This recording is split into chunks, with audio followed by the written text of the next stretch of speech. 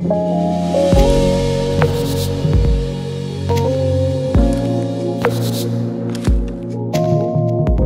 una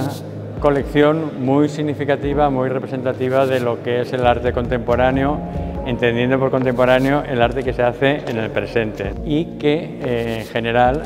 suele ser bastante desconocido. Creo que esta es una buena oportunidad para ver, eh, entender o como mínimo cuestionarse eh, qué es el arte y qué cosas se pueden considerar arte y tienen unos niveles de, aproximación o de, o de, lectura o de emoción que van más allá de la,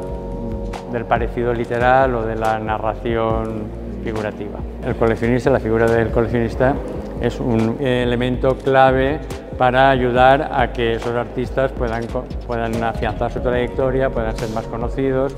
con lo cual pues, puedan finalmente vivir también de su trabajo. Ellos digamos que se, se dejan llevar un poco por su intuición, por su pasión y igual que hay la mayor parte de sus obras, eh, especialmente desde el 2004, son de artistas, digamos, que entonces eran emergentes, han pasado 20 años, muchos de ellos ahora ya son artistas, se llama de media carrera, pero también tienen obras que les, han impresionado mucho y, con independencia de que eran artistas ya, entonces eh, conocidos, pues si han pasado 20 años, pues ahora ya son artistas consagrados.